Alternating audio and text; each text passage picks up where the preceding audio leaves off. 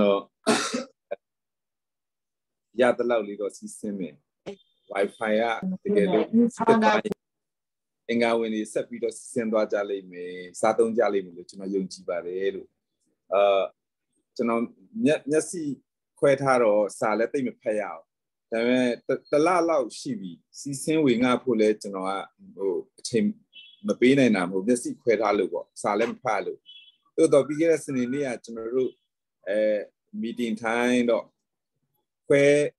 ဟိုပေါ့တာဝန်ယူဖို့ဘယ်နေ့ပဲဒီဘယ်နေ့ပဲဒီလိုပြောတဲ့ခါကျွန်တော်ဝิญဉ်ထဲမှာတကယ်လွမ်းနေလေနော်ကိုလည်းစီးစင်းရမှာဒါပေမဲ့မျက်စိအကြောင်းဒါပေမဲ့ဘာပဲဖြစ်ဖြစ်ကွာမျက်စိကမျက်စိပဲအခုကတော်တော်လေးဟိုစူးစမ်းပြီးတော့နည်းနည်းရလဲနည်းနည်းလေးပြောမယ်ကွာဆိုပြီးတော့ဆက်ကွယ်ဂျာပနီကျွန်တော်ယူမယ်လို့ကျွန်တော်တောင်းဆိုလိုက်တာဖြစ်တယ်တကယ်တော့လေတ ကယ်လဲအထက်မှာနိုးစော်ထားတဲ့အရာတွေရှိလို့ပေါ့နော်ပြောပြန်ပြီးတော့ဝေငှချင်တဲ့အရာတွေရှိလို့ပေါ့အဲ့အတွက်ဘုရားသခင်ကျေးဇူးတော်ချီးမွမ်းကျေးဇူးတင်တယ်ဖြစ်ချင်တော့ဒီကနေ့ကကျွန်တော်တို့ပါဝါများသွားလို့တဲ့အခုပဲဟိုဟိုလောက်တဲ့သူကိုဒီဒီဆက်ပညာအဲဆက်ပိုင်းဆိုင်ရာဒီလိုဖုန်းဆက်တော့အဲ့ဒါတို့ပါဝါများတဲ့အတွက်ကြောင့်တက်လိုက်ဆင်းလိုက်တက်လိုက်ဆင်းလိုက်ပြုတ်ပြုတ်ကြသွားတာဖြစ်တယ်တဲ့အဲ့နဲ့တယ်လီဖုန်းက hotspot ဖွင့်ပြီးတော့တယ်လီဖုန်းနဲ့အခု join လိုက်တာဖြစ်တယ် အဲရရတဲ့လောက်လေးပေါ့နော်။အိုးသခင်ယေရှုဖျားသခင်ဌာနမှာဉာဏ်ပညာတောင်းရအောင်။သခင်ယေရှုဖျားကိုတော့ကိုကြည်စုတင်တဲ့ပြင်ဆင်ပေးတဲ့အခွင့်အရေးအတွက်ကိုတော့ကိုကြည်စုတင်တဲ့ကျွန်တော်တို့စုပေါင်းစည်းခြင်းဒီကိုတော့ကိုပဲဘ ഹു ပြုပါတယ်ဖျားဝိညာဉ်မှာပဲလက်ပြန်တဲ့ဝိညာဉ်မှာပဲကိုတော့စီစဉ်ပြောဆိုမဲ့စကားများကျွေးမွေးမဲ့အရာများအတွက်ကျွန်တော်တို့ရောက်စီတိုင်းအလင်းရဖို့တိဆောက်တတ်ဖို့ ကျွန်တော်တို့ရောက်စီတိုင်းမှာလိုအပ်နေတဲ့အရာကိုကိုရောဖတ်ဖျားတခင်ဆက်လက်၍တွင်တင်ပါပြုပြင်ပါရယူတော်မူပါလက်တွေ့အတ္တမှာကျွန်တော်တို့အသက်ရှင်ခြင်းမှာကိုရောနဲ့အတူတွေ့ကြုံခံစားခြင်းရှိတဲ့အတ္တဖြစ်စေဖို့အလို့ငါကျွန်တော်တို့ကိုဆက်လက်ဆွဲခေါ်တော်မူပါကိုရောကိုယေရှုတင်တယ်တခင်ယေရှုနာမ၌ချီးမွမ်းပါတယ်ဖျားအာမင်အာမင်အာမင်အဲဒီလဒီလကုံလောက်ဆိုရင် အဲညောင်လေးပင်ခီးစဉ်ရှိတယ်အေပီလာအထင်းမှာလည်းဟိုဂတိပေးထားတဲ့အတိုင်းအရှုချင်းကိုလည်းသွားဖို့ရှိတယ်ပေါ့နော်သူပထမပတ်လို့ပြောတယ်အဲအဲ့ဒါပြီးရင်ဟိုညီကိုတွေလည်းခီးပြကြမယ်တကြံတွင်းမှာလည်းတင်တန်းနေရှိကြတယ်အဲ့လိုမျိုးပေါ့နော်ဆိုဟိုကျွန်တော်တော့မလိုက်နိုင်ပေမဲ့ဒီ zoom နဲ့ပဲအဲတင်တန်းနေမှာလည်း zoom နဲ့ပါဝင်ဖို့ပဲရှိပါတယ်လို့ဒါကတော့အိမ်မှာနေရင်းနဲ့ပေါ့နော်ရန်ကုန်မြို့တွင်းကတော့အဲခေါ်ဖိတ်ထားတဲ့ အတင်းတော့တပန်းတပန်းနာတော့သူတို့လာခေါ်ရင်လိုက်သွားပြီးတော့နည်းနည်းတင်ဖို့ရှိပါတယ်အဲ့တော့ကျွန်တော်ဘာပြင်ဆင်လဲဆိုတော့ဘာဘာပြင်ဆင်လဲဆိုတော့ဖျားရဲ့စီမံကိန်းပဲဒါဖျားဖျားကင်စီမံကိန်းကိုကျွန်တော်တို့ဟိုမမပြောရင်ကျန်တဲ့အရာကပြောတဲ့သူရှိတယ်လေဖျားခင်ရဲ့စီမံကိန်းကိုတကယ်တီးပြီးပြောတဲ့သူကနည်းသေးတယ်နည်းသေးတယ် အဲပြောပြီးလို့ပြောရင်နဲပါတယ်ဆိုမှဟိုကျွန်တော်မနေ့ကကျွန်တော်ညီကိုကိုစောပြောသလိုပဲစီမံကိန်းပြောရင်ကိုမကြိုက်တဲ့သူအသက်လို့ပြောရင်ကိုမကြားချင်တဲ့သူတွေရှိနေတယ်တိုက်ခိုက်မှုတွေကရှိနေတယ်ပေါ့နော်သို့တော့ဘာပဲဖြစ်ဖြစ်ဒါကဒါကနောက်ဆုံးကျွန်တော်တို့ကိုဘုရားသခင်ရယူခြင်းမှာကျွန်တော်တို့ကိုအလင်းပေးဖွင့်ပြထားတဲ့အရာဖြစ်တာပေါ့အဲ့တော့အဲတကယ်အခြေခံကျွန်တော်တို့ယုံကြည်သူတယောက်ရဲ့အခြေခံကမပြောဟိုမပြောလို့မရဘူးအဲ့အဲ့စီမံကိန်းနဲ့ အဲကိုတိဖို့နားလည်ဖို့ဆိုရင်အခြေခံပေါ့နော်ယုံကြည်ခြင်းမှာအခြေခံ၄ချက်ရှိတယ်သူကအခြေခံ၄ချက်အကယ်မှကျွန်တော်တို့ကျွန်တော်ကိုညီကိုမုခုပြောတဲ့ဆိုရင်9ချက်ရှိတယ်ကျွန်တော်ဆိုရင်14ချက်လောက်တောင်ရှိတယ်ဒါပေမဲ့ကျွန်တော်ဒီဒီညီကိုဒီ Wednesday ရဲ့စာအုပ်တော့ကိုဖတ်တဲ့အခါကျတော့အ ਨੇ ဆုံးတော့ဒီ၄ခုတော့ပြောရမယ်တဲ့တည်တည်ချာနားလည်ရမယ်တဲ့ ကျွန်တော်ပြောတဲ့ဆိုတဲ့နေရာတိုင်းမှာဒီ၄ချက်ကတော့တိကိုတိအောင်ဒါအခြေခံတိဆောက်ပေးဖို့ရှိတယ်တဲ့အဲ့ဒါဘာလဲဆိုရင်သခင်ယေရှုခရစ်တော်ရဲ့လူစားတိခံခြင်းဟုတ်ပြီနော် incarnation နောက်တစ်ခါအသေးခံခြင်းသုံးတစ်ချက်ကရှင်ပြန်ထမြောက်ခြင်းလေးတစ်ချက်ကကောင်းကင်သို့တက်ကြွခြင်းပြန်ပြောမယ် လူစားတိခံခြင်းခရစ်တော်လူစားတိခံတယ်ခရစ်တော်ကားတိုင်းပေါ်မှာအသေးခံတယ်သုံးရမြောက်တဲ့နေ့မှာရှင်ပြန်ထမြောက်တယ်ပြီးရင်ရက်40ကိုထင်ရှားပြပြီးကောင်းကင်ကိုတက်ကြွသွားတယ်အဲ့လေးချက်အဲ့ဒီလေးချက်ကိုဒါဒါဒီလေးခုကိုရှင်းရှင်းလင်းလင်းလေးနားလည်ပြီးတော့သူ့ရဲ့ဖျားသခင်ရဲ့စီမံကိန်းမှာဘယ်လိုရည်ရွယ်ချက်နဲ့ဒီအချက်ကိုကျွန်တော်တို့အခြေခံနေနဲ့နားလည်ဖို့ပြောရမယ်ဆိုတဲ့အရာလေးကို तू ကလေ အဲဟိုတင်ပေးတာပေါ့အဲ့တော့ကျွန်တော်လည်းပြင်ဆင်ရင်းနဲ့ကျွန်တော်ပြန်ပြင်ဆင်တဲ့ကျွန်တော်သိတဲ့အရာထက်တာ၍လေးနဲ့တဲ့အရာကိုကျွန်တော်ပို့တွေ့လာအဲ့ဒါလေးအဲ့ဒါလေးကိုပြန်ဝင်ငါချင်တယ်ပြောရမယ်ဆိုရင်တော့အာယေရှုခရစ်တော်လူစားတိခန္ဓာကျွန်တော်သိပြီးသားပဲအသေးခန္ဓာသိတယ်ရှင်ပြန်ထမြောက်တာယုံနေသိတယ်ကောင်းကင်ကိုတက်ကြွတာဒါလည်းသိတာပဲသိတယ်လို့လို့နဲ့ကျွန်တော်သိချင်းဟာပြီးပြည့်စုံတဲ့ ဘုရားခင်ရဲ့ရည်ရွယ်ချက်ကိုနားလည်ဖို့အတွက်ရှိတယ်ဆိုတဲ့အရာလေးကိုကျွန်တော်ကဒီကနေ့မှအဲအဲ့အလေးကိုပြန်ပြီးတော့လေဝင်ငှချင်တာဖြစ်တယ်ဆိုတော့ကျွန်တော်တို့ဒီမှာရှိတဲ့ညီကောင်မတော်မတွေအားလုံးကဟိုအတင်းတော့အသက်တာအသက်လို့မပြောမကတော့ဘူးအခုနည်းနည်းချင်းနေတော့မကတော့ဘူးဟိုးယေရုရှလင်မြို့တက်ထီတောင်စားတောင်းနေကြပြီဆိုတော့လေအဲတကယ်ဝမ်းမြောက်တယ်ဒါပေမဲ့ဒီအခြေခံလေးတန်းမှာကျွန်တော်သိတယ်လို့မျိုးလေးပဲအဲတချို့မရသေးဘူးမသိသေးဘူးဆိုရင်တိဆောက်စရာဖြစ်ပါစေဆိုတော့ အဲလို့စော်ချက်နဲ့ဝိညာဉ်လို့စော်ချက်ရှိတာလေးနဲ့ကဲနံပါတ်1ကစပြောမယ်ဆိုရင်ဒါဒီလေးချက်ကိုမပြောခင် तू ကပထမဆုံးသိထားမှာအဲ့ဒီဖျားစီမံကိန်းပဲဖျားခင်ရဲ့ထာဝရရည်ရွယ်ချက်ထာဝရစီမံကိန်းကကျွန်တော်နှုတ်ကပတ်တော်နေတစ်ဆင့်သိတာဖျားခင်ဟာသူ့ရဲ့ဂျင်းနဲ့အာရနှစ်သက်ခြင်းအတွက်သူကြံစီထားတဲ့စီစဉ်ထားတဲ့အကြံစီရှိတယ်စီစဉ်ထားတဲ့အစီအစဉ်အဲ ဒီကိုခရစ်တော်အားဖြင့်သူအကောင့်ထဲပေါ်တာဒီနည်းအားဖြင့်ခရစ်တော်အားဖြင့်အကောင့်ထဲပေါ်တယ်ဘယ်လမ်းကြောင်းကနေအကောင့်ထဲပေါ်လို့ဆိုရင်ဝိညာဉ်တော်လမ်းကြောင်းကနေဒါကြောင့်ခမည်းတော်ဖျားဒီကြံစီလက်သားတော်သခင်ယေရှုဆိုတဲ့ခရစ်တော်ကအကောင့်ထဲပေါ်ပြီးဝိညာဉ်တော်ကဖွင့်ပြတည်ဆောင်အဲအဲ့ဒီအလုပ်ကိုလုပ်တယ်ဆိုတဲ့အရာလေးကိုဒါပထမဦးဆုံးသောဒါအခြေခံနေနဲ့နားလည်ရမယ် ဖျားသခင်ရဲ့ဟိုးထာဝရအတိတ်ကလေးကိုကကြံစီထားတဲ့အကြံစီဒါလေးကသိရမယ်အဲ့တော့အဲ့ဒီအကြံစီကိုကောင်းတယ်ဖို့ဖို့အတွက်သခင်ယေရှုခရစ်တော်ကလူစားတိခံလာတယ်လူစားတိလာခံယူပါပေါ့အဲ့တော့လူစားတိခံယူတယ်လို့ပြောရင်ကျွန်တော်တို့က Christmas မှာဆိုရင်ဒီအကြောင်းတအားဟောတယ်လေနော်အဲခရစ်ယေရှုခရစ်တော်ဘာလို့လူစားတိခံလဲမေးရင်ဟောအပြစ်သားတွေကိုကယ်တင်ဖို့ကြည့်နော်ဒါကျွန်တော်တို့အရင်ကတည်းကသိထားတဲ့အရာမျိုးဒါဒါအရောက်တိုင်းသိတဲ့အရာ ဘာဖြစ်လဲအပြစ်သားတွေကိုကယ်တင်ဖို့ဖရာသခင်ရဲ့ဖြစ်ခြင်းကိုကိုထင်ရှားပြဖို့အဲနောက်တစ်ခါလူတွေကစာတန်ရဲ့ကျွန်တော်တို့ကိုချုပ်နှောင်ထားတဲ့တေခြင်းထဲကနေပြီးတော့ရွေးနှုတ်ကဲတင်ဖို့မဟုတ်ရင်နောက်တစ်ခုက prophet ပြုချက်တွေကြီးပြည့်စုံစေဖို့လူစားတိလာခန္ဓာဟောကြည့်နော် စာရရဲ့တကိုးနဲ့မနတ်တွေရဲ့လက်နက်တွေကိုချိုးဖက်ချက်စီးပြဖို့လာတာအာအဲ့အဲ့တော့ဒီဒါဒါကျွန်တော်တို့ဒါဒီအခြေခံသိပြီးသားပဲလေတိုးတော့ကျွန်တော်ဘာထပ်တစ်ခုသိလာလဲလို့ပြောရင်ဘုရားသခင်ကဘာဖြစ်လို့လူစားတိလာခန္ဓာလဲလို့ပြောရင်သူ့ရဲ့စီမံကိန်းကြီးပြီးပြည့်စုံဖို့အတွက်သူ့ရည်ရွယ်ချက်ကိုအစအကောင်တည်းပေါ်တဲ့အခါမှာသူက လူထဲမှာလာထင်ရှားကျင်တာကို तू ကလူထဲမှာလာထင်ရှားကျင်တာတကယ်ရည်ရွယ်ချက်ကဘာဘာလဲဆိုရင်လူရဲ့အထဲမှာ तू က mingle ဆို तू ကထပ်တူဖြစ်ချင်းဆိုရဲအဲ့ဒီရွယ်ချက်ကနံပါတ်1ပဲအကင်မှန်တော့အဲ့ဒါနံပါတ်1ပဲအဲ့တော့ तू ကဘာလုပ်လဲလို့ပြောရင်ခုနကခရစ်တော်ကလူစားတိလာခန္ဓာအကယ်မှန်ခရစ်တော်ကနံဝိညာဉ်ဖျားထာဝရဖျားဖြစ်တာနော် ဖန်ဆင်းရှင်ဖြစ်တာဒါယောဟန်မှာကြည့်ရင်ကျွန်တော်သိပြီးသားတိုးတော့အဲ့ဒီဖန်ဆင်းရှင်ကဖန်ဆင်းခံပြန်လာလောက်တာဖန်ဆင်းခံပြန်လာခံယူလာလေဖန်ဆင်းရှင်ကဖန်ဆင်းခံလာလောက်တာလူသားဆိုတာဖန်ဆင်းခံလူကလူသားဖန်ဆင်းခံအဲ့တော့သခင်ယေရှုကလူစားတိခံပြီးတော့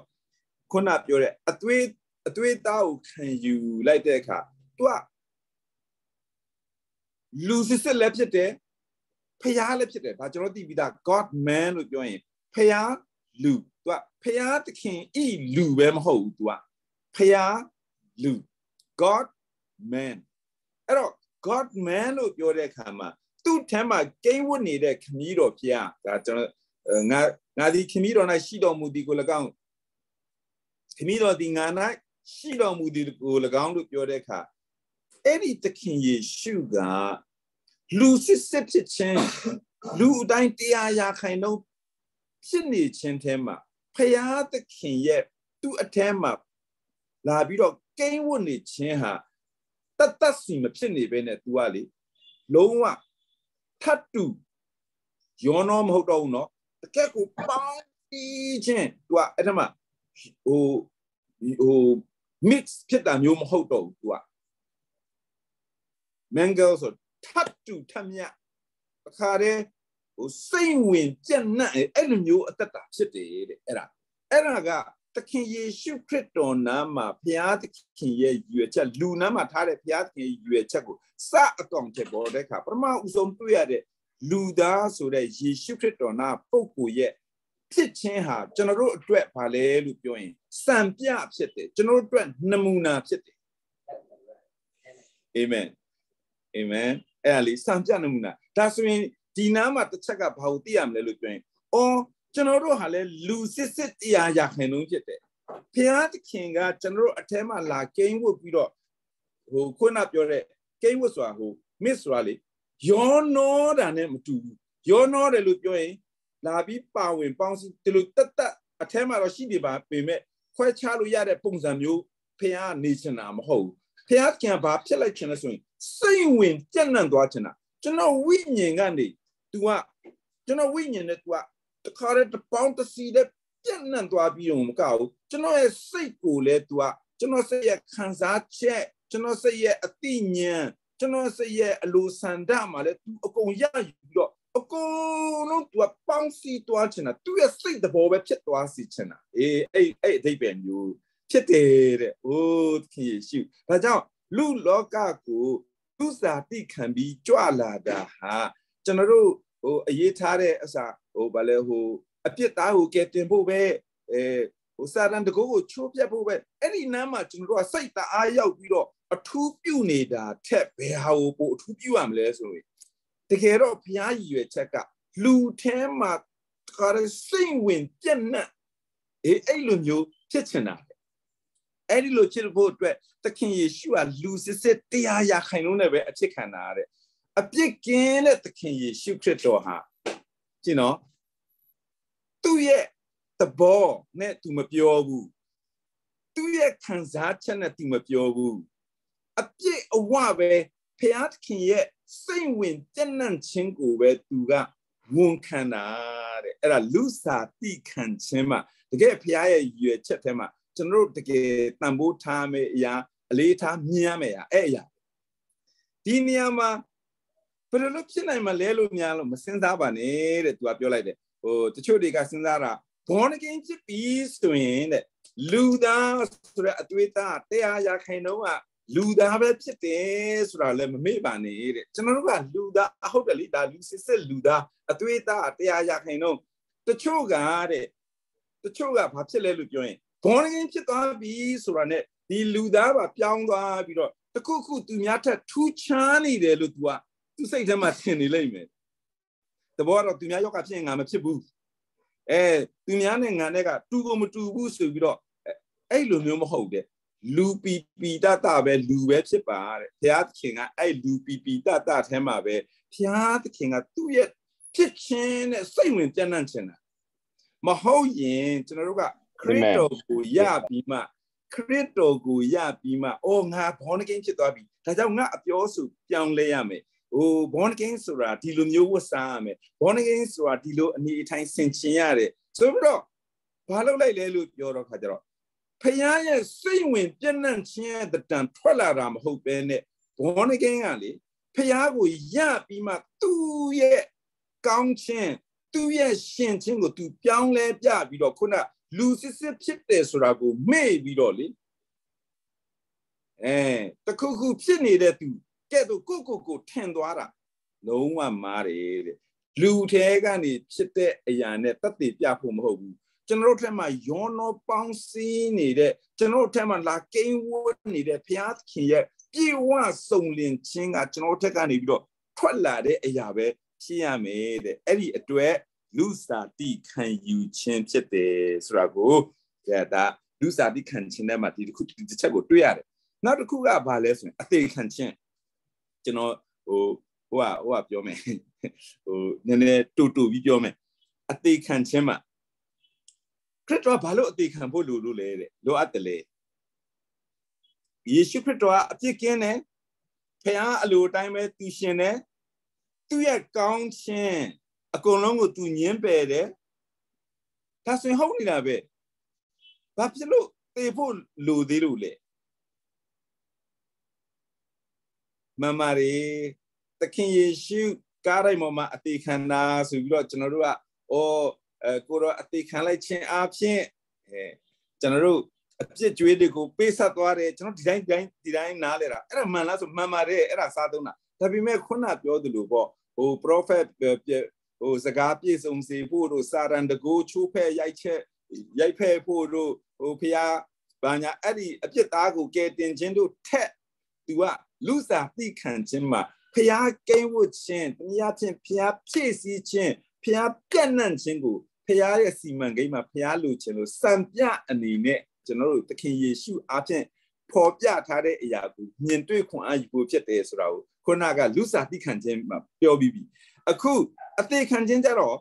ဟာသခင်ယေရှုကအကုန်လုံးပြည့်ပြည့်စုံတဲ့မွေးကလေးကအပြစ်ကိုမလုပ်ဘူးအပြစ်ကိုမသိဘူးကဲခုနပြောတာလုံမယ်ဆိုရင်လုံနိုင်ပေမဲ့ तू အပြစ်ကိုမလုပ်ခဲ့ဘူးဒါအဖိုးအဖိုးပြောတဲ့စကားအတိုင်းလို့ပြောရင်အာမင်အဲ့တော့ဒါဆိုရင် तू ဘာဖြစ်လို့အသေးခံဖို့လူတာလို့မှန်ပါတယ်အသေးခံဖို့လူတယ်ဘာကြောင့်လဲလို့ပြောရင်ခရာကောင်းကင်အဖရဲ့ထာဝရစီမံကိန်းအတွက် तू အသေးခံဖို့လူတယ် သူအသေးခံခြင်းဟာကျွန်တော်တို့ကိုကဲတင်ဖို့လောက်ပဲမဟုတ်ဘူးအကြောင်းပြချက်ပြောမယ်ဆိုရင်လူကကြဆင်းသွားတယ်ဖန်လူကကြဆင်းသွားတဲ့ခါမှာဖန်ဆင်းဖန်ဆင်းအဲဖန်ဆင်းခြင်းအားလုံးစာရန်လက်ထဲရောက်သွားတယ်စာရန်လက်ထဲရောက်သွားတယ်အဲ့တော့ကားရိုက်မှာသ ခင်ယေရှုကအပြစ်မရှိဘဲနဲ့အသေးခံရခြင်းဟာဘာဖြစ်လို့လိုအပ်တယ်လဲလို့ပြောရင်ဖန်ဆင်းခြင်းအဟောင်းထဲတုန်းကလူတသက်ဖရာတသက်ဖန်ဆင်းခြင်းအဟောင်းတုန်းကနော်ဖရာကလူထဲမှာဝင်ပြီးကိန်ဝတ်တယ်ဆိုတာလည်းမရှိဘူးဖန်ဆင်းခြင်းအဟောင်းထဲကလေ तू ကဟိုအာဒံကိုဖန်ဆင်းပြီးတော့လဲအေဒင်ဥယျာဉ်မှာအသက်ပင်ကြီးကိုချထားပြီးတော့ရွေးခိုင်းတာပဲတနည်းအားဖြင့်လူလူကပဲအဲ့တော့ ခုနဘုရားရဲ့စီမံကိန်းအတွက်လို့ပြောရင်ဘုရားသခင်စီမံကိန်းကိုအကောင့်ထဲပေါ်ဖို့လူအဲ့ဒီသခင်ယေရှုကောင်းနေတဲ့သခင်ယေရှုခုနအပြစ်ကင်းနေတဲ့သခင်ယေရှုအသက်ရှင်ခြင်းမှာတန့်ရှင်းနေတဲ့သခင်ယေရှုကတေးဖို့လူသေးလားဘာကြောင့်လဲလို့သူ့ရဲ့စီမံကိန်းအတွက်ဘာဖြစ်လို့လဲဆိုရင်ဖန်ဆင်းခြင်းအဟောင်းကိုအဆုံးသတ်လိုက်ပြီးတော့ဒီနေ့အချင်းရန်သူစာရန်လက်ထဲကျသွားတဲ့ဖန်ဆင်းခြင်းအဟောင်း အဲ့အာရန်ရဲ့အပြစ်တွေကိုတစ်ဖက်က judgment တရားစီရင်လိုက်ဖို့နောက်တစ်ဖက်ကနောက်တစ်ချမ်းချက်ချင်းပဲနော်နှစ်ချမ်းကတပြိုင်နဲ့တစ်ချမ်းကတရားစီရင်ခြင်းတစ်ချမ်းကပြန်လဲရွေးနှုတ်ခြင်းပြန်လဲမွေးဖွားခြင်းပြန်လဲပြီးတော့အသက်ဖန်ဆင်းခြင်းဆိုတာရှိလာအဲ့တော့ဖန်ဆင်းခြင်းအဟောင်းကိုခြေဖြတ်ပလိုက်ပြီးမှ ဖန်ဆင်းခြင်းအစ်စ်ကိုဘုရားသခင်ရယူဖို့အတွက်ရွေးနှုတ်ဖို့အတွက်ဘာဖြစ်လဲဆိုတော့အသိခံရတာဖြစ်တယ်တဲ့။အိုးသခင်ယေရှုအဲ့ဒါလည်းတကယ်ပဲဖခင်ကိုတကယ်ကျေးဇူးတင်တယ်သခင်ယေရှုကွာအပြစ်မရှိပဲသူကဘာလို့အသေးခံလဲကွာငါတို့တွေတလောက်မိုက်တလားကွာဆာရန်တို့အဲ့အဲ့ဒီဆာရန်တို့ကျွန်တော်တို့ဟိုမိုက်မဲခြင်းတို့ကျွန်တော်တို့ကြာဆင်းခြင်းတို့ကတကယ်တကယ်အဓိကမဟုတ်ဘူးတကယ်တော့ဘုရားရဲ့စီမံကိန်းကိုအကောင့်ထဲပေါ်နိုင်ဖို့အတွက်မမရဲကြာဆင်းသွားတဲ့လူနဲ့ ဖန်ဆင်းခြင်းအလုံးဟာစာရန်လက်ထက်ရောက်သွားတဲ့အရာအလုံးအတွက်အပြစ်တင်သွားတဲ့အရာအတွက်သူ့ကိုတရားစီရင်ဖို့အတွက်အသေးခံခြင်းမှာတချမ်းကအဲ့ဒီအပြစ်ကိုတရားစင်လိုက်တယ်လို့ဖန်ဆင်းခြင်းအဟောင်းမှန်သမျှကိုဖြတ်စည်းပလိုက်တယ်လို့နောက်တစ်ချမ်းကပြန်ရွေးနှုတ်ခြင်းဆိုတဲ့ Oh, nice. I like your ဖန်ဆင်းခြင်းအသစ်ကိုကျွန် yeah, တော် I တို့ like it. ပြန်ဘုရားသခင်ကပြန်လဲပြင်ဆင်တယ်ဆိုတာကိုတွေ့ရတယ်။အိုးသခင်ယေရှုဘုရောကိုကျေးဇူးတင်ပါ၏။ဒါကြောင့်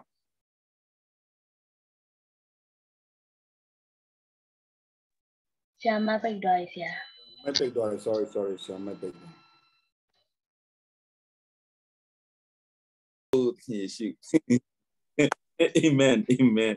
အဲ့တော့ခုနကအသေးခံရခြင်းဟာဖန်ဆင်းခြင်းအဟောင်းကိုတရားစီရင်လိုက်ပြီးတော့ဖန်ဆင်းခြင်းအစ်စ်ကိုပြန်လဲရွေးနှုတ်တာတစ်ဖက်ကဘုရားသခင်စီရင်ခြင်းတစ်ဖက်က redemption ရွေးနှုတ်ခြင်းဆိုတဲ့အရာအတွက် ဒါကအကြောင်းပြချက်တစ်တယ်ဒုတိယအကြောင်းပြချက်ကပထမအကြောင်းပြချက်ထက်ပို့ပြီးတော့နှက်နှဲမှုရှိတယ်တဲ့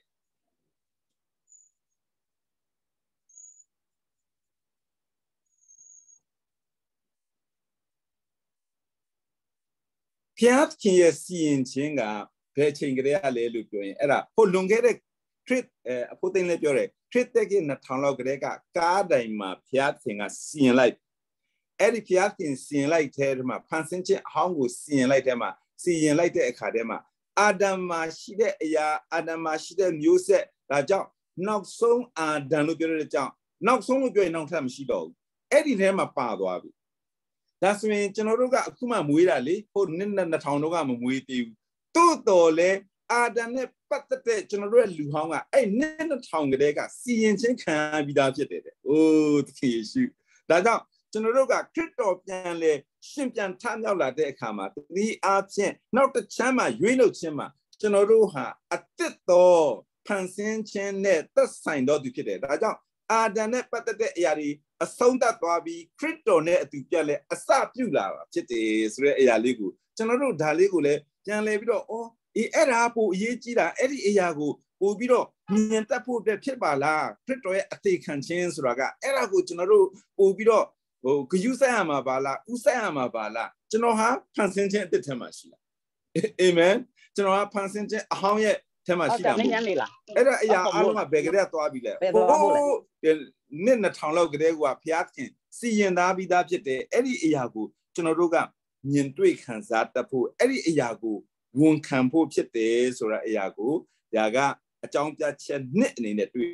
ရတယ် နောက်တစ်ခါအကြောင်းပြချက်၃နဲ့ဘာဖြစ်လို့အသေးခံရတယ်လဲဆိုတော့အကြောင်းပြချက်၃ညခရစ်တော်အသေးခံရရှင်ရခြင်းဟာဖျားသခင်ကကျွန်တော်တို့အထဲမှာဖြည့်ပေးဖို့ထောက်ပံ့ပေးနိုင်ဖို့စီကျွန်တော်တို့အထဲကိုစီးဝင်စိတ်ဝင်နိုင်ဖို့အတွက်တနည်းအားဖြင့်အသေးခံရခြင်းဖြစ်တယ်ဥပမာတဲ့အစားစားတဲ့အခါတိုင်းကျွန်တော်တို့စားမဲ့အစားအစာကတကယ်တော့ तू ကတေးပေးရတယ်အသက်ပေးရတယ်အစားစားတဲ့အခါလေဥပမာအမဲသားစားမယ်ဆိုရင်နွားတေးပေးရတာပေါ့ကြက်သားစားမယ်ဆိုရင်ကြက်တေးပေးရတာပေါ့ငါးစားမယ်ဆိုရင်ငါးကတေးပေးရတာပေါ့အဲ့ဒါအဲ့ဒါတေးပေးရတာဆိုကျမ်းစာထဲမှာတခင်ယေရှုကဂျုံစပါးစီတစ်စိတ်แท้ဆိုရင် तू ကတစ်စိတ်တည်းဆိုရင်တစ်စိတ်တည်းပဲဖြစ်နေမှာပေါ့ဒါပေမဲ့ तू ကမပြတ်ဘူးဆိုရင်တစ်စိတ်တည်းတည်မယ်ပြက်လင်မူကားဆိုတာဒီနေ့အပြင်တေးပေးခြင်းကိုပြောတာ များစွာသောအတီးကိုတီးစေတယ်များစွာသောအအတီးကိုရစေတယ်ဖြစ်တယ်ဆိုတဲ့အတွက်သခင်ယေရှုအသေးခံပေးလိုက်ခြင်းအပြင်သူ့အထဲမှာရှိတဲ့အသက်လွတ်မြောက်သွားတာလွတ်သူကလွတ်ပေးလို့ရသွားတာ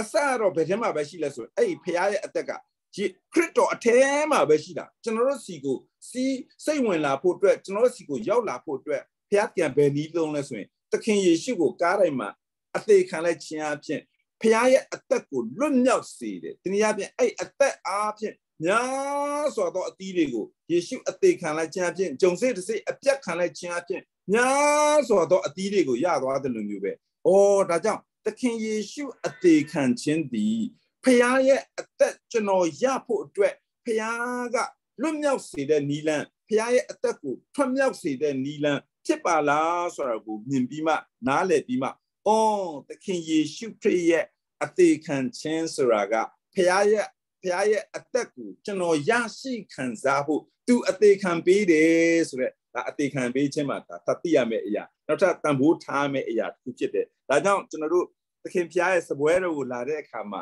မုံဖဲ့ခြင်းလုပ်တယ်မုံဖဲ့ခြင်းစားတယ်လို့ပြောတဲ့အခါမှာအအသွေးတော်ကိုဟိုဆက်ဆံတောက်သုံးတယ်လို့ပြောတဲ့အခါမှာ အိုးကားရိုင်ပေါ်ကဒီတနည်းအားဖြင့်ကိုတော်အသေးခံခြင်းအပြင်ဖျားရဲ့အသက်ကိုလွတ်မြောက်စေပြီးထွက်မြောက်စေပြီးကျွန်တော်တို့ကိုရရှိခံစားစေတဲ့အရာဖြစ်ပါလားဆိုတာကိုနားလေသဘောပေါက်ခံယူဖို့ဖြစ်တယ်အဲ့ဒါကအဲဟိုအကြောင်းပြချက်ပေါ့ခရစ်တော် ကားတိုင်းပေါ်မှာအသေးခံရခြင်းရဲ့အကြောင်းပြချက်ဖြစ်တယ်တန်ဖိုးထားမဲ့အရာဖြစ်တယ်မဟုတ်ရင်ကျွန်တော်တို့တခြားအစာပဲတောက်တန်ဖိုးထားတာခရစ်တော်သေးတာသူသေးတာသူသေးတဲ့အတွက်ကြောင့်ငါတို့ဩကျေးဇူးတော်ကြောင့်ငါတို့ငရဲမသွားတော့ဘူးခရစ်တော်အသေးခံပေးလိုက်လို့ငါတို့အပြစ်တွေကိုစေကြောပေးတယ်ကျွန်တော်တို့အရင်တော့အဲ့လောက်မာလားဆိုမမားပါဘူးဒါပေမဲ့တကယ်မြင်ရမှာဖခင်ရဲ့စီမံကိန်းအဲမှာရှိနေတဲ့အရာသူ့အသက်ကိုကျွန်တော်တို့ထဲမှာဖြည့်ပေးဖို့အတွက်သူအသေးခံရတယ်သူအပြတ်ခံရတယ်ဆိုတာကိုနားလေသဘောပေါက်ဖို့အတွက်ဖြစ်တယ်တဲ့နောက်တစ်ခုက ကိုရောရဲ့အသေးခံခြင်းကအရာအလုံးပါဝင်တော့ပါဝင်နေတော့အသေးခံခြင်းဖြစ်တယ်။ဒီနည်းအချင်းလဝါကရိုင်မှာကိုရောအသေးခံတဲ့အခါတကယ်လို့များဂျူးလူမျိုးတယောက်သွားမင်းရင်တဲ့အဲကားရိုင်မှာဘယ်သူသေးတာလဲလို့မေးရင်အဲဂျူးလူမျိုးကဖြေပါလိမ့်မယ်တဲ့ငယ်ရွယ်တဲ့လူငယ်လေးတယောက်သေးတာတဲ့သူ့နာမည်ယေရှုလို့ခေါ်တယ်တဲ့အဲ့လိုဖြေပါလိမ့်မယ်။ဒါမဲ့တဲ့သူထနေနေပြီးတော့ယုံကြည်သူသွားမေးလိုက်တဲ့။အိုးသခင်ယေရှုအသေးခံတာအဲတနည်းအားဖြင့် အဲကက်တင်ရှင်ရွေးနှုတ်ရှင်သခင်ယေရှုအသေးခံတယ်လို့သူဖြေပါလိမ့်မယ်ဒါပေမဲ့တိုးတက်လာတဲ့ခရိယန်တယောက်ကိုမေးမယ်ဆိုရင်ခရစ်တော်တပါးတဲ့သိတာမကဘူးငါတို့အားလုံးလည်းအဲ့ထဲမှာသိတယ်လို့ဖြေပါလိမ့်မယ်ဒါပေမဲ့တာ၍ရင့်ကျက်သောသူကိုသွားမေးရင်တဲ့ကားရိုက်ပေါ်မှာဘယ်သူတည်တယ်လဲလို့ပြောရင်ခရစ်တော်ထဲမှာရှိတဲ့အရာခတ်သိမ်း all inclusive လို့ပြောတဲ့ အရာခသိန်းပေါင်းစည်းပါဝင်နေတဲ့အရာအားလုံးကခရစ်တော်ထဲမှာထည့်ပြီးအသက်ခံရတာဖြစ်တယ်လို့သူဖြေပါလိမ့်မယ်။အဲ့ဒီမှာဘယ်သူပါလဲဆိုရင်ကျွန်တော်တို့လည်းပါတယ်စာတန်လည်းပါတယ်ခုနပြောတဲ့ဖန်ဆင်းဖန်ဆင်းခြင်းအားလုံးပါတယ်တဲ့။အဲ့ထူးဆန်းတာပဲသူပြောတာဖန်ဆင်းခြင်းဒါဆိုရင်လက်ဝါးကရိုင်မှာသခင်ယေရှုတည်တဲ့အခါမှာအဲ့ဒီအရာတွေအကုန်လုံးကိုဘာလုပ်ကြလဲဆိုရင်အဲ့ဖန်ဆင်းခြင်းအဟောင်းတွေတနည်းအားဖြင့် သေခြင်းနဲ့သက်ဆိုင်နေတဲ့အရာသေသွားတဲ့အရာသေစေသောအရာအမင်္ဂလာခံတဲ့အရာအလုံးကိုခရစ်တော်အထဲမှာအလုံးစုပေါင်းထည့်ထားပြီးတော့အသေးခံလိုက်ခြင်းအပြင်ခရစ်တော်ပြန်ရှင်ပြန်ထမြောက်တဲ့အခါမှာပြန်ရှင်လာတယ်လို့ပြောတာဖြစ်တယ်အဲ့ဒီထဲမှာပြန်ပြောတဲ့အခါဒါဆိုရင်ကျွန်တော်မမိသေးတယ်ကျွန်တော်ဟိုဟိုဟို online တခုမှသူတို့ဆွေးနွေးတာဗာလေစာခရစ်တော်အထက်မှာစာရန်တွေလည်းထည့်ပြီးတော့နတ်ဆိုးတွေလည်းထည့်ပြီးတော့ တပ်ပလိုက်တယ်ခရစ်တော်ရှင်တော့အဲအကုန်လုံးပြန်ရှင်တယ်လို့ပြောနတ်ဆိုးတွေလည်းပြန်ရှင်လာတာပေါ့တကယ်ကိုအုံနောက်မရှိတဲ့မိကွန်းနဲ့သူတို့ဆွေးနွေးနေကြတာကျွန်တော်နားထောင်ခဲ့ရတယ်။တနည်းအားဖြင့်ဖျားသခင်ကသူ့ရဲ့ဖန်ဆင်းခြင်းအသစ်ထဲမှာသူ့စီမံကိန်းထဲမှာပါတဲ့အရာပဲသူယူဆောင်ပြီးတော့ဘာဖြစ်တယ်လဲဆိုရင်ရှင်တန်လာတာဖြစ်တယ်။နတ်ဆိုးတွေပြန်ရှင်လာတာမဟုတ်ဘူး။ဖျားသခင်စီရင်လိုက်တဲ့အရာတွေပါပြန်ရှင်လာစေခိုင်းတာမျိုးမဟုတ်ပါဘူးဆိုတာဒါဒါဒါတစ်ချက်ကျွန်တော်သတိရလို့ပြောပြတာပါ။အဲ့တော့ ဖျားခရစ်တော်ဟာထာဝရအတွက်သူ့ကိုယ်သူစက္ကအစေခံလိုက်တာဖြစ်တယ်။တနည်းအားဖြင့်ထာဝရစီမံကိန်းအတွက်အကုန်လုံးသူ့အထက်မှာထည့်ပြီးသူစီရင်ခံဒလာခန္ဓာဖြစ်တယ်။ဒါကြောင့်ခုနပြောတဲ့ခရစ်တော်သေခန္ဓာကအဲကျွန်တော်လည်းပါတယ်ဆိုပြီးကျွန်တော်တယောက်တည်းမကဘူး။ဥပမာသူကထပ်ပြောတယ်။နောအေတမောကိုကြည့်လိုက်ရင်နောအေတမောထဲမှာလူသား၈ယောက်ရှိတယ် အဲ့ဒီမှာပြိဿန်တွေအစုံတွဲစုံတွဲလိုက်လဲထည့်ထားတယ်အကုန်လုံးထည့်တာမဟုတ်ဘူးလေအပြင်မှာအကုန်ရှိသေးတယ်ဆိုတော့ non atem ဘောခရစ်တော်ကိုပုံဆောင်ပြီးရှိရောက်သောမိသားစုကကျွန်တော်တို့ကဲတင်ချင်းရတော့ဖះရွေးနှုတ်ခံလူသားတွေကိုပုံဆောင်နေတဲ့ကျန်တဲ့တိရစ္ဆာန်တွေစားမဲ့ရိတ်ခါတွေအားလုံးကဖန်ဆင်းခံတဲ့အရာတွေဖန်ဆင်းခံတဲ့အရာတွေဒါဆိုရင်အဲ့ဒါတွေရောကဲတင်ချင်းရလားလို့ပြောရင်အဲ့ဒါကိုကိုစားပြတဲ့အတွက်ကြောင့် သင်ခရစ်တော်ရဲ့အထဲမှာပြန်ရှင်လာတဲ့အခါမှာကျွန်တော်တို့လူကိုကိုစားပြုသောမိသားစုရှောက်အပါဝင်အဲ့မှာတန်ရှင်သောတရိษံတွေနဲ့စားတော့ကြရများတနည်းအားဖြင့်ပြန်ရှင်စေသောအရာများလဲအဲ့ဒီအရာတွေလဲပါတယ်ကိုစားပြုတာဖြစ်တယ်တဲ့ကျန်တာတော့ခုနပြောတဲ့အဲညင်ယူတဲ့အရာတွေကတော့စီရင်ချင်းခံရတာပေါ့အဲ့တော့ခရစ်တော်ရဲ့အသေးခံခြင်းကချင်းကို ကျွန်တော်တို့ရဲ့အသိဉာဏ်မှာပဲကျွန်တော်တို့အသိခံတာ။အော်ယေရှုခရစ်တော်ငါအတွက်အသိခံပြီးငါသိပြီးထပ်ပြောမယ်အဲ့ဒါငါသိပြီးခရစ်တော်ထဲမှာငါသိပြီးကျွန်တော်တို့မားတတ်တဲ့အရာလေးတခုခုအိမ်မှာပြဿနာတက်ပြီးဆိုရင်ဒေါသသားထွက်ဆိုအော်ငါသိပြီးငါသိပြီးကျွန်တော်တို့ကခရစ်တော်သိခြင်းကိုဘယ်နှမ်းမှာပဲကျွန်တော်တို့ဝန်ခံနေလဲဆိုရင်အသိဉာဏ်မှာသိခြင်းမှာသွားဝန်ခံရင်ကျွန်တော်တို့အတွက်ခရစ်တော်အသေးခံခြင်းကကျွန်တော်တို့အတွက်ဘာမှ တွေ့ကြုံခံစားစရာမရှိဘူးဒါဆိုရင်ခရစ်တော်အသေးခံခြင်းကိုတွေ့ကြုံခံစားခြင်းလားအေးတွေ့ကြုံခံစားခြင်းလေဆိုရင်ကျွန်တော်တို့ဘယ်နာမှတည်ရမလဲဆိုရင်ဝိညာဉ်မှာတည်ရမယ်တဲ့ဘာကြောင့်လဲဆိုရင်အဲ့ဒါဝိညာဉ်ကစလာအဲ့တော့ကျွန်တော်တို့ကအတိညာမှာပဲအော်ငါကငါကခရစ်တော်၌တည်ပြီးသားပဲလို့ပြောပြီးတော့ပြဿနာတစ်ခုတက်တာနဲ့ယန်ထမဖြစ်ချင်တာနဲ့ဇာတိကိုတည်စေချင်တာနဲ့ငါတည်ပြီးကားတိုင်းမှာငါတည်ပြီးပြီငါတည်ပြီးပြီအဲ့လိုရေတွက်ဝန်ခံနေလို့ငါမတည်သွားဘူးတဲ့ ဝန်ခံလေလေငါရှင်လေပဲတွေ့မှာတဲ့ကျွန်တော်တို့ဖြစ်တတ်တဲ့အရာလေးအဲ့ဒါအိုးတခုတော့အော်ငါတည်ပြီးငါတည်ပြီးအိုးခင်ရှုကျွန်တော်တည်ပါပြီကားတိုင်းမှာကိုရိုနာဒီတည်ပါပြီအိုးဝန်ခံပါတယ်အိုးခင်ရှုအဲ့လိုဝန်ခံခြင်းကအလုံးမဖြစ်ဘူးတဲ့အဲ့ဒါမားတယ်တဲ့ကျွန်တော်တို့ကတခါတည်းအားပေးရလေအိုးငါတည်တယ်ဆိုဝန်ခံလိုက်လေအိုးခင်ယေရှုနာမငါတည်ပြီခရစ်တော်၌ခရစ်တော်တည်တဲ့ချိန်မှာငါတည်ပြီအဲ့ဒါဘယ်ကနေဒီဝန်ခံနေရလဲဆိုရင် ကိုသူသိထားတဲ့အတိညာပေါ်မှာမူတည်ပြီးသူတည်တယ်ဆိုဝန်ခံတာတဲ့အတိညာပေါ်မှာမူတည်ပြီးဝန်ခံတဲ့အရာအလုံးကမတည်ဘူးတဲ့ခံစားချက်တောင်ပိုပြင်းပြီးတော့လေတွေးတွေးပါထပ်တိုးနေဦးမယ်ယောဂတော့ထပ်ရအောင်ရသွားနိုင်တယ်အဲ့ဒါအဲ့ဒါကျွန်တော်အော်ဒါလည်းကျွန်တော်မြင်သွားတဲ့အရာအော်ကျွန်တော်ကအသိဉာဏ်မှာပဲငါတေးပြီးငါတေးပြီးဆိုပြီးကျွန်တော်တို့ကအိုးလက်တွေပဲတောင်ထောင်ခိုင်းတယ်ဘလူးတေးပြီးလဲတေးရင်လက်ထောင်ပါတယ်ပဲလာသေးရကျွန်တော်ဒီစရာဟာတလို့ မဟုတ်ဘူးတဲ့ကျွန်တော်တို့တေးတယ်ဆိုတာတကယ်တော့အဲ့ဒီဝိညာဉ်မှာခရစ်တော်တေးခြင်းကိုအသေးခံပေးတော့တနည်းအားဖြင့်အရာခတ်သိမ်းကိုပေါင်းစည်းစေပြီးအသေးခံပေးတော့ထိုခရစ်တော်ဒီဒီနေ့ကျွန်တော်ဝိညာဉ်မှာအသက်အချင်းရှင်ပေးနေတာအဲ့ဒီအသေးခံခြင်းကဝိညာဉ်မှာကျွန်တော်တို့ကခုနလှည့်ပြန်ပြီးဝိညာဉ်မှာတဘောတူတဲ့အရာဖြစ်ရမှာဝိညာဉ်ကနေဝန်ခံရတာဖြစ်တာတဲ့ အတိညာဏ်ကနေဝန်ခံလို့ငါမသေးသွားဘူးဝိညာဉ်မှာတဘောတူပြီးဝိညာဉ်မှာသေပြီးသေပြီးသားဖြစ်တယ်ဆိုတာကိုကျွန်တော်တဘောတူတဲ့သူဖြစ်မှအဲ့ဒီခရစ်တော်ရဲ့တည်ခြင်းကကျွန်တော်ရဲ့အသက်တာမှာအလုံးလုံးမယ်တွေ့ကြုံခံစားလာလိမ့်မယ်ဆိုတဲ့အကြောင်းဒီနားမှာတခုအဲ့ဒါလေးကျွန်တော်ရရှိပါတယ်လို့ဒါဒါကအဲအသေးခံခြင်းပေါ့နော်အဲနောက်နောက်တစ်ခုကရှင်ပြန်ထမြောက်ခြင်း ရှင်ပြန်ထမြောက်ခြင်းဒါလည်းပြောရမယ်အေးရခုနပြောတဲ့အချက်လက်တွေကဒီထက်ပိုတော့ပြည့်စုံတဲ့အရာတွေကကျွန်တော်တို့သင်ပြီးသားဖြစ်လို့ကျွန်တော်ကဟိုကျွန်တော်ထပ်ရသွားတဲ့အရာလေးပဲစီးစင်းတာဖြစ်ပါတယ်လို့ခရစ်တော်ဟာကားတိုင်းမှာအသေးခံခြင်းနဲ့ပဲရပ်မသွားဘူးပြန်လဲရှင်ပြန်ထမြောက်တယ်ဒါကျွန်တော်တွေ့ရတယ်အဲသူကအဖို့သိမ့်ပြောတာတတိယ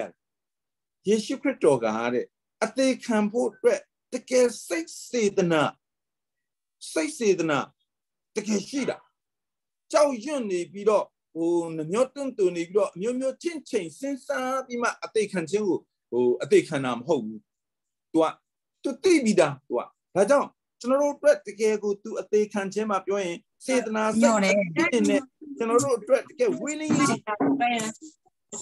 တေခြင်းနဲ့ကို तू စင်းတယ် အဲ့တေချင်းတဲ့ကနေပြီးတော့ပဲသူကဘုံကြီးဆိုတာတကယ်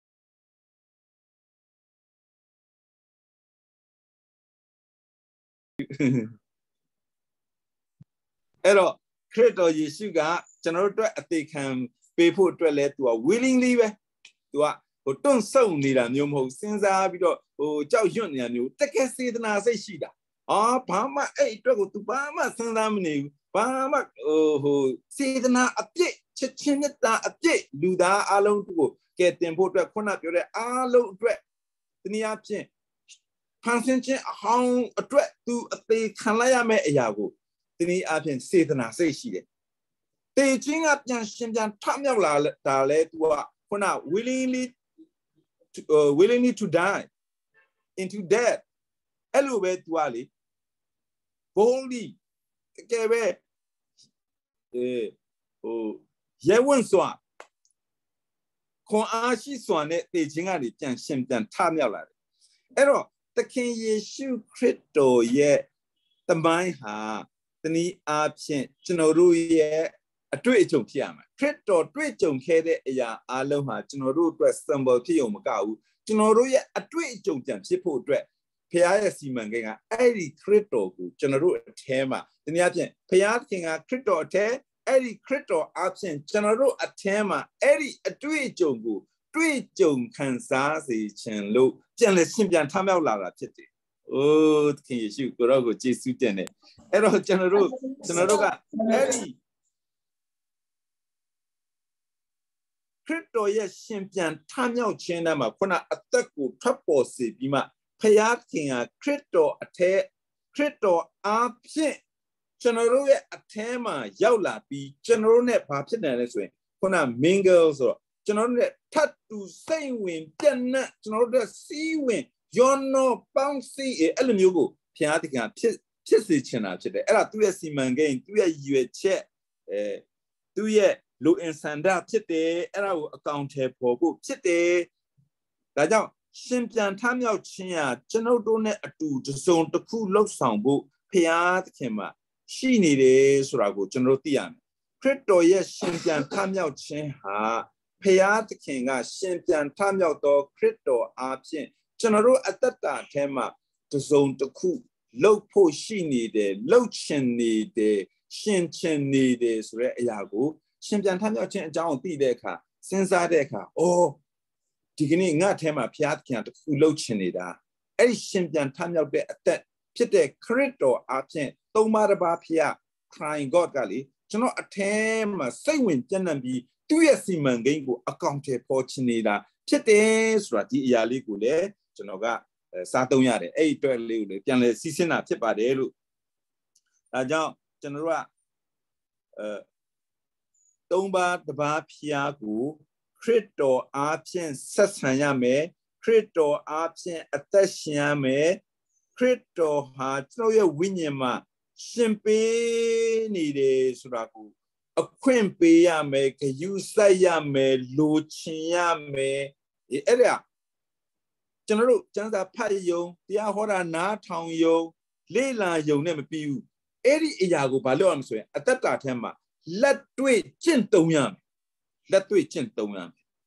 အာမင်အဲ့ဒါမှခုနပြောတဲ့ခရစ်တော်ရဲ့လူစားတိခံခြင်းခရစ်တော်ရဲ့အသေးခံခြင်းခရစ်တော်ရဲ့ရှင်ပြန်ထမြောက်ခြင်းရဲ့ရည်ရွယ်ချက်ရဲ့နဲ့နဲ့ချင်းကိုကျွန်တော်တို့ရဲ့အသက်တာမှာလက်တွေ့တွေ့ကြုံခံစားလာရမှာဖြစ်တယ်ဆိုတဲ့အကြောင်းကျွန်တော်တို့အမြဲတမ်းနားထောင်ယူနေပဲနဲ့အိုးနားထောင်လိုက်ရေးမှတ်လိုက်အဲ့ဒါလေးကကျွန်တော်တို့အသက်တာမှာလက်တွေ့တွေ့ကြုံဆရာမဖြစ်သေးဘူးเนาะ तू ကလေတိသွားတာရသွားတာပဲရှိတယ်ဘာလို့အောင်မလဲ ကြားနာတဲ့နေ့တိုင်းဝင်ငါချက်တွေကျွန်တော်တို့ဖတ်ကြားထားတဲ့အရာတွေကိုအိုးသခင်ယေရှုဖျားအသက်တာမှာလက်တွေ့တွေ့ကြုံခံစားခြင်းပါတယ်လက်တွေ့ကျွန်တော်အသက်တာမှာကျင့်သုံးတဲ့သူလက်တွေ့ရှိတဲ့သူဖြစ်ဖို့အတွက်ဒါကိုရောပဲရှင်တော်မူပါကိုရောပဲဝိညာဉ်မှာရှိတော်မူသောကိုရောပဲအကုန်လုံးကိုရယူပြီးတော့စိတ်ဝင်ပြီးတော့ကိုရောပဲနေရာယူတော်မူပါအရာခသိန်းကိုရောကိုပဲအနံပါတယ်အဲ့ဒီလိုတခါကားတဲ့ ညီကိုတယောက်ကအဲ့ဒီ brother lee ကိုမေးတယ်ပြောတယ်အဲ तू က तू တရားဟောတိုင်းနဲ့ तू ကဟာတတွေထက်ထက်ပြောတယ် तू အသက်ကိုလည်းတိလာရော तू ကမေးတယ်တဲ့အဲ့လိုဟာတပြောတာပြောတာဝိညာဉ်၌အဟိုဟိုဖျားခင်အလိုတော်နဲ့ညီပါမလားအဲ့ဒါကျွန်တော်ဒီလိုပြောတာဟိုဟိုလူတွေကိုရီမောစေတယ်လူတွေကိုရှင်လန်းစေတယ်လူတွေဂျုတ်ပေါ့ဟာတဟာတလောက်တဲ့အရာကမှန်လားလို့မေးတဲ့အခါ ဝိညာဉ်မှာတီးပြီးပေးပါတဲ့မင်းထဲမှာရှိတဲ့ဝိညာဉ်ကဟာတလောက်ခိုင်းတယ်ဆိုရင်လောက်ပါတဲ့မင်းထဲမှာရှိတဲ့ဝိညာဉ်ကဟာတမလောက်ခိုင်းရင်မလောက်ပါနဲ့တဲ့ကျွန်တော်တို့ကလေဟာတပြောမယ်ဆိုရင်လွယ်လွယ်ကူပဲအားလုံးပြောအောင်ရည်အောင်ပဲပြောထလိုက်တာဒါပေမဲ့တစ်ခါလေကြိုင်ဝိညာဉ်ကိုလက်ပြန်ပြီးမေးတတ်ရမယ်တဲ့အဲ့ဟာတပြောမဲ့အရာတော်မှဝိညာဉ်တော်ကနိုးလို့ပြောရင်မပြောပါနဲ့တဲ့ကျွန်တော်တို့လက်တွေ့လေ့ကျင့်တဲ့အခါမှာဘာတွေ့လာလိမ့်မလဲလို့ပြောရင် ဝိညာဉ်မှာလက်ပြန်နိုင်လက်ပြန်နိုင်ငါသေးတယ်ငါသေးတယ်ဆိုတဲ့လက်တွေ့အသက်ရှင်ခြင်းကိုတွေ့ကြုံခံစားရမှာဖြစ်တယ်တဲ့။ဘာကြောင့်လဲဆိုရင်ဟုတ်တာပေါ့ဝိညာဉ်ကိုရှင်ခွင့်ပေးရင်ငါမတည်သူမှအလုပ်လုပ်လို့မရတာ။ငါတည်တယ်ဆိုတာ။ဒါကြောင့်ဝိညာဉ်မှာလက်ပြန်လေလက်ပြန်လေငါတည်တယ်ဆိုတော့အတွေ့အကြုံကိုတာ၍ခံစားလေခံစားလေဖြစ်ပါတယ်။ဟာလေလုယာ။ဒါကြောင့်အိုးသခင်ယေရှုဝိညာဉ်မှာလက်ပြန်ပါ၏။အိုးသခင်ယေရှုနာမတော်ခေါ်ခြင်း ဝိညာဉ်မှာလက်ပြန်ပါ၏လို့ဝန်ခံလိုက်တိုင်းဝန်ခံလိုက်တိုင်းသင်တွေ့ကြုံခုပါလိမ့်မယ်တခါတလေကြရင်သင်ပြောမဲ့စကားကကြံစီထားပြီးပါဇက်ကထွက်ခံဒီခါမှာအတွင်းကခွင့်မပြုလို့ပိတ်လိုက်ရတဲ့အတွေ့အကြုံတွေရှိလာပါလိမ့်မယ်ဝယ်မဲ့ပစ္စည်းကိုဝယ်တော့မယ်ဆိုခံမှမဝယ်နဲ့ဆိုပြီးတော့အတွင်းကပြောလို့တင်နာခံလိုက်တဲ့အခါအဲ့ဒီဝိညာဉ်ကကျွန်တော်တို့အထဲကိုအုပ်ဆိုးလက်သူနေရာယူလက်သူကချုပ်ကင်လက်ကျွန်တော်တို့ကိုသူကအကုန်လုံးကိုစား ထိန်ကွတ်ပေးလက်ထိန်ချောင်းပေးလက်ပဲ့ပြင်လက်ရှိတဲ့အရာကိုတင်တွေ့ကြုံခံစားလာပါလိမ့်မယ်အာမင်အာမင်နောက်ဆုံးတစ်ချက်ပဲပြောရမယ်အဲ့ဒါကဘာလဲဆိုရှင်ပြန်ထမြောက်ခြင်းကျွန်တော်ဒီမှာရေးထားတာ9ရက်ကြော်ကြော်ပြောနေတာအာမင်ကောင်းကင်တက်ကြွခြင်းကိုပြောမယ်ကောင်းကင်တက်ကြွခြင်းကောင်းကင်တက်ကြွခြင်းကတကယ်တော့အဲခုနအစင်းစင်းလိုက်ပြန်ပြောမယ်ဆိုရင်ဟုတ်ပြီဩဟိုလူစားတိခံလာတယ်ပြီးရင်အသေးခံတယ် အခုရှင်ပြန်ထမြောက်တဲ့နာပြီးကောင်းကင်တက်ကြွသွားတဲ့အခါမှာဒီနည်းအားဖြင့်ဘာဖြစ်စေတယ်လဲဆိုရင်ဖခင်ရဲ့စီမံကိန်းကသူကောင်းကင်တက်ကြွပြီးမှဝိညာဉ်တော်သွန်လောင်းတယ်ဒီနည်းအားဖြင့်အသက်ပေးသောဝိညာဉ်တော်အဖြစ်ဆင်းလာတဲ့အခါမှာအဲ့ဒီအသက်ကိုရတဲ့သူတွေပေါင်းစည်းတဲ့ကိုယ်ခန္ဓာတော့အသင်းတော်ကိုရထွက်ပေါ်လာစေတာဖြစ်တယ်အာမင်အဲ့တော့ကျွန်တော်တို့ကဟိုသုံးခုလောက်ပဲမပြောနဲ့လေတခါလေကျရင်အသေးခံတယ် အဲတကြိုရှင်ပြန်ထမ်းမြောက်ဟိုလောကကိုကြွလာတယ်ကဲတင်ဖို့ကြွလာတယ်အသေးခံတယ်ရှင်ပြန်ထမ်းမြောက်တယ်ဒီဥစ္စာနဲ့ပဲမပြီးသွားနဲ့ဒီအရာကဘာလို့လဲလို့ပြောရင်ခုနကကျွန်တော်တို့ကိုအသွင်ပြောင်းခြင်းဘုရားသခင်အစီမံကိန်းအတွက်ရယူခြင်းပြင်ဆင်ခြင်းအစစ်စစ်ဖြစ်ပြီးမှကောင်းကင်တက်ကြွခြင်းဟာတနည်းအားဖြင့်ဘာလို့ပေါ်လာစေဘူးလဲဆိုရင်ကိုခန္ဓာတော့တနည်းအားဖြင့်သူ့စီမံကိန်းကိုအကောင့်ထဲပေါ်မဲ့အသင်းတော် ကိုခန္ဓာတော်ကိုပေါ်ထွန်းလာစေတာဖြစ်တယ်ဆိုတာကိုနားလည်ဖို့အတွက်ရှိတယ်တဲ့။အိုးဒါကြောင့်ကျွန်တော်တို့ကကိုကိုတော့ကောင်းကင်တက်ကြွခြင်းအကြောင်းကိုစဉ်းစားတဲ့အခါမှာဘူးမတိပန်းဟိုအေးကောင်းကင်တက်ကြွငါတို့အတွက်ဟိုငါတို့အတွက်ကူစားဆုတောင်းပေးနေတဲ့ဟိုကောင်းကင်အဖလက်ရတော်ဘက်မှာအဲ့လောက်ပဲမသိနေတဲ့တကယ်တကယ်ဘုရားရဲ့စီမံကိန်းရဲ့ရည်ရွယ်ချက်ကဘာလဲလို့ပြောရင်စေလွတ်လိုက်တော့သူများချင်းအသက်ပေးသောဝိညာဉ်တော်ဒီကျွန်တော်တို့ထဲမှာရရှိလာတဲ့အခါမှာအသက်ပေးသောဝိညာဉ်ကိုရထားတော့ အင်္ဂါဝင်များပေါင်းစုလျက်ခန္ဓာတော်ကိုပေါ်ထွန်းလာစေပြီးခရစ်တော်ကအချုပ်အချာဖြင့်ဥကောင်းမှာရက်လက်အသင်းတော်ဆိုတဲ့ကိုခန္ဓာကိုလည်းခရစ်တော်မှာပဲချုပ်ချစေပြီးအိုးဥကောင်းတဲ့ကိုကတခုတည်းဖြစ်သွားတာတခုတည်းဖြစ်သွားတာအေးအဲ့ဒီအတွက်ရည်ရွယ်ချက်ဘာကြောင့်လဲအဲ့ဒီအသင်းတော်ကပဲဖခင်ရဲ့ထာဝရစီမံကိန်းမှာလာမဲ့ယေရုရှလင်မြို့တဲ့အဲ့ဒီအသင်းတော်ကပဲအောင်မြင်သူတွေကိုဝေးထုတ်ပေါ်ထုတ် ဒီနည်းအားဖြင့်အဲ့အထဲကပဲပေါ်လာမှာဘယ်လိုပေါ်လာလဲဝိညာဉ်မှာလက်ပြန်လက်ခရစ်တော်ကိုအချိန်တိုင်းနေတိုင်းအမြဲတမ်းရှင်ခွင့်ပေးလက်အဲ့ဒီအရာကိုတွေ့ကြုံခံစားလျက်တိဆောက်ခံတဲ့သူတွေပေါ်လာဖို့အတွက်ဖြစ်တယ်တဲ့ဒါဆိုရင်ဒီနေ့ကျွန်တော်တို့အရင်တော့သိထားတဲ့လောကကိုကြွလာတယ်အသေးခံတယ်အရှင်ပြန်ထမြောက်တယ်ကောင်းကင်တက်ကြွတယ်ဆိုရက်ရိုးရိုးလေးမဟုတ်တော့ဘူးအဲ့ဒါဟာ တကယ်စီမံကိန်းအတွက်အရေးကြီးတဲ့အခြေခံချက်ဖြစ်တယ်ဆိုတာကိုနားလေသဘောပေါက်လေအသက်တာမှာပြန်လေခံစင်ချင်စားသုံးကအသက်တာမှာမွေးလျော်နိုင်ကြပါစေလို့နှုတ်ကပတ်တော်အဖြစ်ဝင်ကစီစဉ်ပါတယ်။အိုးသခင်ယေရှုရောက်စီတိုင်းမှာဘုရားသခင်ကျေးဇူးတော်ကြော်ရပါစေ။